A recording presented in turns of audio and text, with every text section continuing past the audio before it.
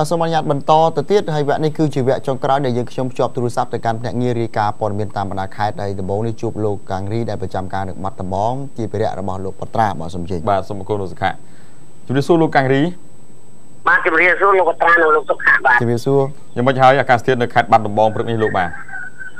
អូលោកបត្រានិងលោកសុខាបានអាកាសធាតុនៅខេត្តបាត់ដំបងប្រហែលថ្ងៃនេះចាប់ដើមត្រជាក់យ៉ាងខ្លាំងទីបំផុតហើយតម្លៃកៅអៅល្ងាក៏ឡើងថ្លៃដែរបាទ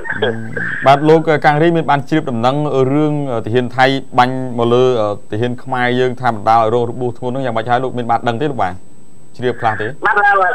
ព័ត៌មាននេះខ្ញុំមិនទាន់បានទទួលទទួលបានទេតែព្រឹកនេះខ្ញុំនឹងបន្តធ្វើដំណើរទៅព្រំដែនដើម្បីយកព័ត៌មាននេះឲ្យបានច្បាស់បាទ បាទអរគុណព្រឹកនេះមានរឿងអីរឿងជរាយការជូនដល់សាធារណជនលោកបានជ្រាបលោកបានបាទដល់ព្រឹកនេះក៏មានសេចក្តីរាយការណ៍មួយបាទផ្ទះសិប្បកម្មស្លមៀក្នុងភូមិវិជាបរដ្ឋនឹងរងផលប៉ះពាល់ផ្សែងពុលពិបាកដកដង្ហើមបាទបាទជ្រឿក្រៅបាទសូមជើញលំអិត បាទលោកវត្រាបាទប្រជាពលរដ្ឋដែលរស់នៅជុំវិញផ្ទះសិប្បកម្មស្លមាសស្ថិតក្នុងភូមិរំជែក3សង្កាត់រតនៈក្រុងបាត់ដំបងហ្នឹងបានអះអាងថាពួកគាត់បានរងផ្សែងដែលគេស្លធ្វើមាសដោយធាតុស្អំមានប្រើទឹកអាស៊ីតចាក់រំលាយមានផ្សែងពណ៌លឿងខ្មួលខ្មាញ់ជះមកលើជះមកក្នុងភូមិលំបាកដកដង្ហើមខប់ខប់ដង្ហើមជាច្រើនខែឆ្នាំមកហើយហើយពេលប្តឹងទៅសមាជិកអាជ្ញាធរភូមិសង្កាត់ហ្នឹងបានត្រឹមតែមកពិនិត្យមើលរួចទៅវិញបាត់មិនមានការបកស្រាយនិងមានវិធានការអ្វីឡើយបាទហើយពួកគាត់បន្តថាពួកគាត់មិនបានចំណែនគ្នានេះនឹងការរកស៊ីរបស់គេទេតែសូមឲ្យយកទៅដាក់ស្លឲ្យឆ្ងាយពីក្នុងភូមិតំបន់ប្រជុំជនកុំឲ្យប៉ះពាល់ដល់សុខភាពសាធារណៈដល់ពួកគាត់ដែលរស់នៅក្នុងភូមិផងបានបាទពុំមហយឡើងលើអឺលោកកាំងរីការធ្វើអាជីវកម្មរបស់ពួកគាត់ហ្នឹងថាតើរយៈពេលយូរហើយតើឬក៏ជើបចាប់ផ្ដើមទេលោកបាទ បាទនៅក្នុងនោះពាក់ព័ន្ធនឹងការចោតប្រកាន់ខាងលើនេះម្ចាស់សិប្បកម្មឈ្មោះជាកំឡុងអាយុ60ឆ្នាំដែលជា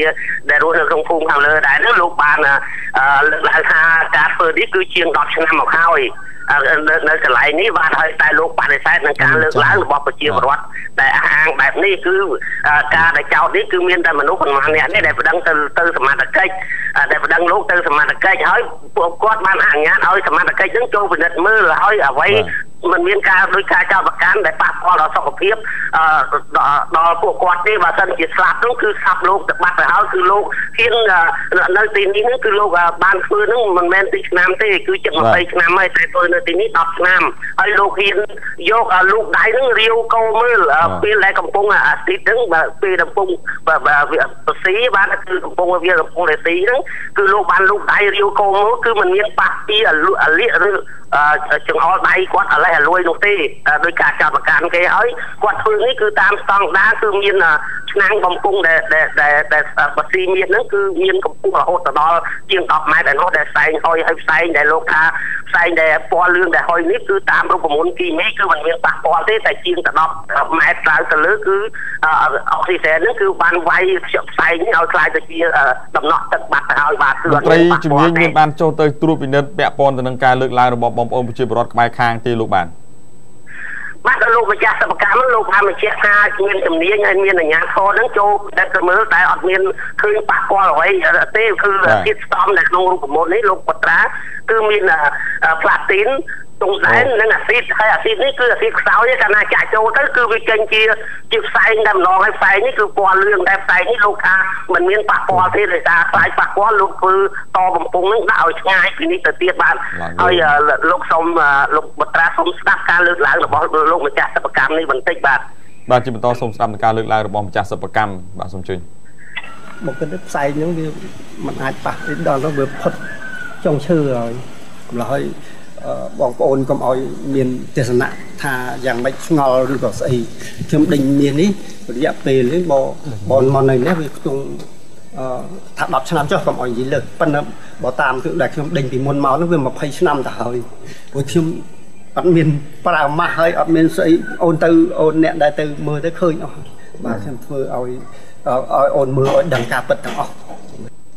លោកការីអរគុណដែលបានរាយការណ៍ បាទអរគុណលោកត្រាងលោកសុខាបាទបាទជំរាបលាឥឡូវនេះសូមអនុញ្ញាតបន្តជួបភ្នាក់ងារមួយរូបទៀតជាកិច្ចបញ្ចប់លោកវីឡែមប្រចាំការនៅខេត្តហើយកំពង់ចាមនិងត្បូងឃ្មុំលោកវីឡែមជំរាបសួរអាលោកវីឡែមអីលោកកំហឿននេះបាទសូមផ្លាប់ដោបាទឥឡូវនេះសូមជួបលោកកំហឿនមកជំរាបសួរលោកកំហឿនបបាទជំរាបសួរលោកប្រកាសនិងលោកបុត្រាបាទបាទបាទជំរាបសួរអរគុណច្រើនលោកកំហឿនហើយមានអ្វីរាយការណ៍ព្រឹកហ្នឹង ជំរាបជូនពីក្រុមហ៊ុនតាំងសង់វរិយសេនីសេសានក្រុម2លោកបានរៀបចំមូលដ្ឋានរស់នៅថ្មីជូនប្រជាពលរដ្ឋហើយដើម្បីបង្កើនជំនឿដល់ពួកគាត់បាទអូតើរៀបចំរបៀបម៉េចហេតុអីបានជាដើម្បីបង្កើនជំនឿដល់ប្រជាពលរដ្ឋបាទដោយសារកន្លងមកនេះប្រជាពលរដ្ឋមួយចំនួននោះគាត់ចេះតែរិះគន់ថាក្រុមហ៊ុនបរិយាទីសនីនឹងចេះតែមកពន្យល់គាត់ហើយបោកប្រាស់មិនបានធ្វើអ្វីជាក់ស្ដែងឲ្យគាត់ឃើញ បាទដូច្នេះហើយក្រុមហ៊ុនកំពុងតែបើកការដ្ឋានដើម្បីសាងសង់ទីកន្លែងរស់នៅថ្មីជូនពួកគាត់ហើយដើម្បីបង្កើនជំនឿឲ្យពួកគាត់ចូលរួមក្នុងការអភិវឌ្ឍនៅគោលនយោបាយរបស់រដ្ឋាភិបាលក្នុងការស្ថាបនាសាងសង់វិរិយអសិទ្ធិនីសេសានក្រោបពីនេះពីព្រោះថាបច្ចុប្បន្នក្រុមហ៊ុនបានដំណើរការទំនប់វិរិយអសិទ្ធិនីសាងសង់បានសរុបទៅប្រហែលជាជាង20%ហើយលោកបត្រានិងលោកបកាបាទបាទ ចុះបងប្អូនប្រជាពលរដ្ឋដែលថាក្រុមហ៊ុននឹងនៅយឺតយ៉ាវមិនឃើញសាងសង់មានប្រមាណគ្រួសារដែលលោកនៅតំបន់នោះបាទសូមបញ្ជាក់ថាថ្មីថ្មីនេះជាពិសេសគឺថ្ងៃម្សិលមិញនេះតែម្ដងគឺថាខ្ញុំបានចង់ទៅជួបបងប្អូនប្រជាពលរដ្ឋយើងនៅក្នុងគុំត្រែកោហើយពួកគាត់តែងតែអូនដែរថាក្រុមហ៊ុនចប់ គ្រាន់តែស្រង់ទៅនលីហើយអនុវត្តទៅតាមគោលការណ៍ចេះតែនិយាយតែមិនឃើញធ្វើអ្វីជាក់ស្ដែងហើយពេលនេះក្រុមហ៊ុនបានបើកការដ្ឋានទីកន្លែងរស់នៅថ្មីរបស់ពួកគាត់នៅចន្លោះផ្លូវតាមផ្លូវជាតិលេខ78ពីស្ទឹងត្រែងទៅរតនគិរីបាទហើយនេះជាទីលានដែលបងប្អូនប្រជាពលរដ្ឋយើងត្រូវទៅតាំងទីលំនៅថ្មីហើយមានចំនួន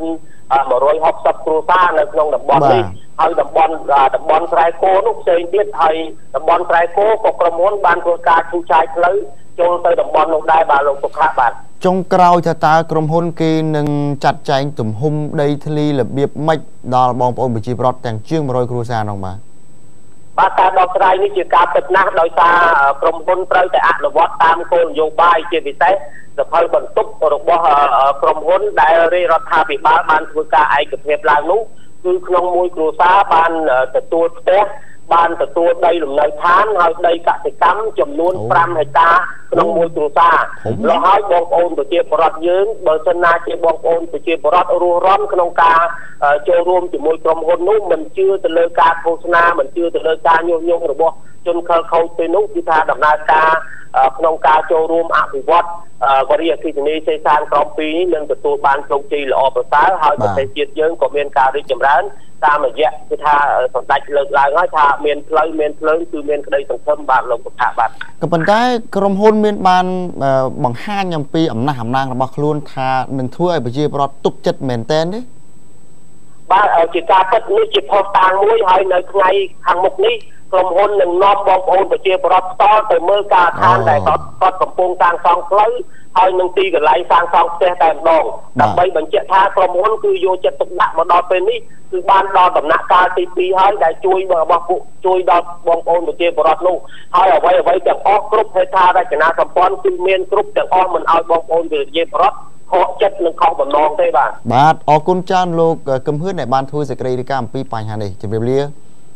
បាទសូមអរគុណសូមជម្រាបលាបាទបាទអរគុណបាទទូរទស្សនិកជនជាទីគោរពរានពេលវេលាក៏បានមកដល់ទីបញ្ចប់ដែលមិនអាចអូបបន្លាយតទៅទៀតបានទេហើយសូមឲ្យបងប្អូនបង្កើនការប្រុងប្រយ័ត្នចំពោះធាតុអាកាសដែលចេះតែត្រជាក់ជាពិសេសគឺកុមារហើយនឹងលោកយាយលោកតាដែលមានវ័យចំណាស់ហើយក៏ជាពិសេសថែមទៀតនោះគឺថាបងបងប្អូនប្អូនដែលជានាយទាហានដែលកំពុងតែឈរជើងនៅតាមបន្ទាត់ព្រំដែនកម្ពុជាថៃឬក៏ព្រំដែនផ្សេងផ្សេងទៀត បាទអរគុណទ្រូទស្សនិកជនបន្តពីម៉ោងយើងខ្ញុំទាំងពីររូបជួបនឹងលោករដ្ឋាភិបាលនិងអ្នកនាងសាលារងចូលខ្លួនមកជម្រាបជូនពាក់ព័ន្ធទៅនឹងចរាចរណ៍បទមើលផ្សេងផ្សេងដែលបានកើតឡើងនៅក្នុងសង្គមខណៈនេះខ្ញុំបាទឈឿនបុត្រាខ្ញុំបាទទូចសខៈសូមអរគុណសូមគោរពលាស្អែកជួបគ្នាចាប់ពីម៉ោង6ព្រឹកតទៅទៀត